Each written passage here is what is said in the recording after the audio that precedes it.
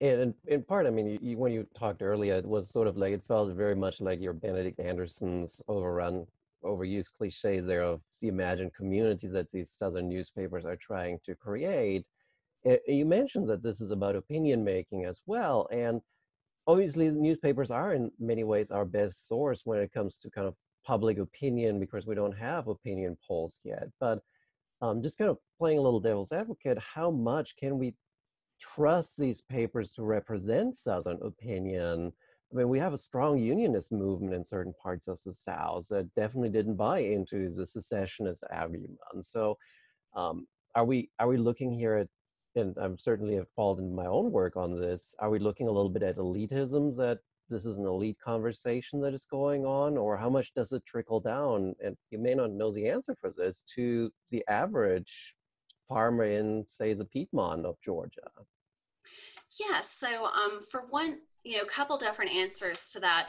So, yeah, absolutely not all Southerners were secessionists, and I actually do use Unionist newspapers to help me understand the Unionist international perspective as well. So that's the source actually works both ways. Um, so far as the elitism issue goes, on some level, it is the elites because on some level it is the elites who have the power to decide they're going to create a confederacy decide they're going to form a new government decide they're going to equip an army and go to war against the united states of america. So i think on some level almost by definition when we're looking at the creation of this confederate nation um, there is going to be some element that the elites are the ones who have the power to kind of make things happen here mm-hmm. which of course brings us to the classic debate about you know was confederate nationalism real? Did it resonate? Um, as well as of course the nationalism debate top down versus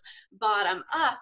And i think what i would kind of say to those debates is again what i'm really looking at here is the attempts to shape public opinion. Um, i'm not necessarily looking at whether or not it resonated, I'm looking at how they use these international comparisons to create the idea of Southern identity. And I found that, again, they did really across the board. And that really kind of leads me to, I guess, my final part of this answer, which is that to the extent that less elite voices do kind of enter into this conversation, they're very much echoing these same things. So we get letters to the editor, for example, from common citizens.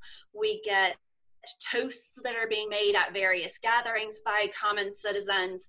And in these examples, we get democratic meetings where townspeople are meeting and passing resolutions.